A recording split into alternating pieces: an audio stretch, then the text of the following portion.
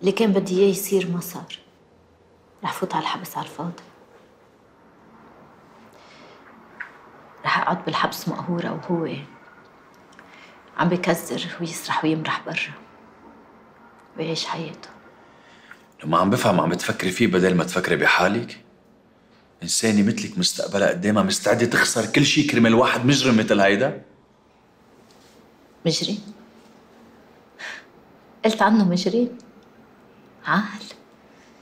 يعني معترف إنه مجرم بالوقت اللي ظهر هو على أساس إنه بريء. هو ما ظهر من الحبس على أساس إنه بريء. هو ظهر من الحبس على أساس إنه عم يتراقب تحت المحاكمة. شو رح يصير فيي هلا؟ أنا قوصته وهو ما مات. يعني شو مصيري هلا؟ بما إنه الجريمة واضحة وأنت اعترفتي فيها فأكيد رح يحيلوكي عند قاضي التحقيق للمحاكمة. شو رح يكون الحكم؟ ما بعرف هيدي مش شغلتي. شغلة قاضي التحقيق.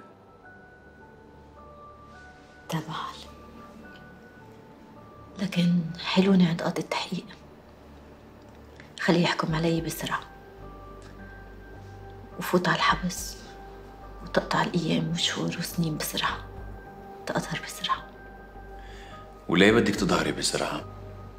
حتى ترجعي تقتلي؟